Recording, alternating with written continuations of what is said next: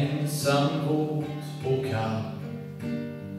Ja, den ligger där och gråter över sitt förfall. En bortglömd liten mjölkpall så lutad emot en tall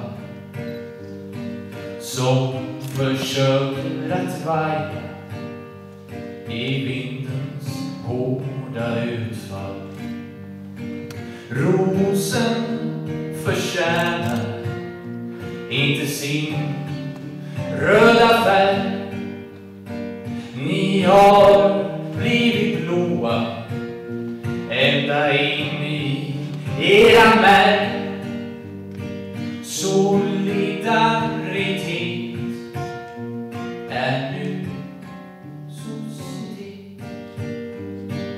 Ni formar ett land fyllt av hat och ovisshet.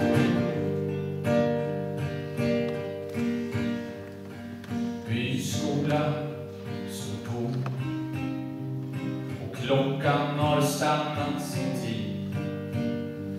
En flaggstång försöker stå stolt där bredvid.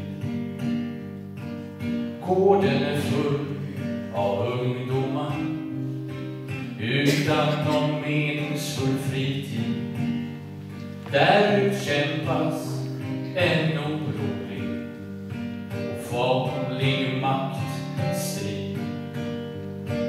Rosen förtjänar inte sin röda färg.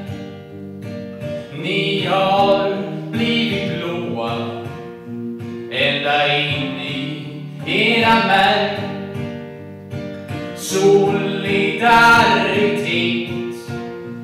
är nu societet i formar hela fylld av hat och god